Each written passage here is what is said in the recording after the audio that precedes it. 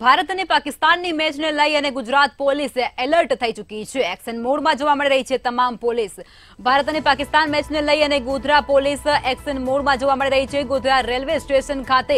Bomb squad દ્વારા checking હાથ ધરવામાં આવી રહ્યું છે. પોલીસ એલર્ટ થઈ ચૂકી છે ત્યારે રેલવે જીઆરપી ટીમને સાથે રાખી અને ચેકિંગ હાથ ધરવામાં આવી રહ્યું છે ત્યારે બોમ્બ સ્ક્વોડથી ટીમ દ્વારા ચેકિંગ અત્યારે હાથ ધરવામાં આવી રહ્યું છે કોઈ પણ પ્રકારનો અનિચ્છનીય બનાવ ન બને તેના માટે પોલીસ સક્રિય છે શંકાસ્પદ મુસાફરોના માલ સામાન પણ તેમના દ્વારા અત્યારે ચેક કરવામાં આવી રહ્યા છે મહત્વપૂર્ણ સમાચાર છે તે સામે આવી રહ્યા છે શંકાસ્પદ મુસાફરોની પૂછપરછ પણ તેમના દ્વારા હાથ ધરવામાં આવશે પોલીસ ચોકન્ની થઈ ચૂકી છે ત્યારે ગોધરા રેલવે સ્ટેશન ખાતે બોમ્બ સ્ક્વોડ સાથે પોલીસ દ્વારા ચેકિંગ હાથ ધરવામાં આવ્યું છે